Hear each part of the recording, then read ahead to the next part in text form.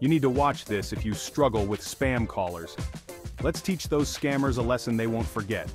Here's my favorite way to make scam callers regret ever dialing your number. When John from XYZ Collections rings me up more than once, it's showtime. I answer and tell them they've reached Bloom and Blossom, your local florist. I start pitching fake flower promotions, 50% off, buy one get one free, you name it. They try to ignore me, but I stay relentless.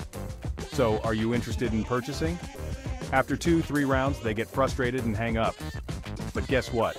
That's just the beginning.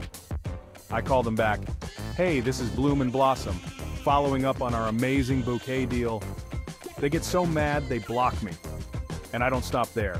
I track their other numbers and repeat the floral madness until I'm blocked everywhere. Like last week, Susan from Mega Loans called three times. By the third callback, she blocked me. Or Dave from Credit Solutions. I had him blocking me from every number by week's end.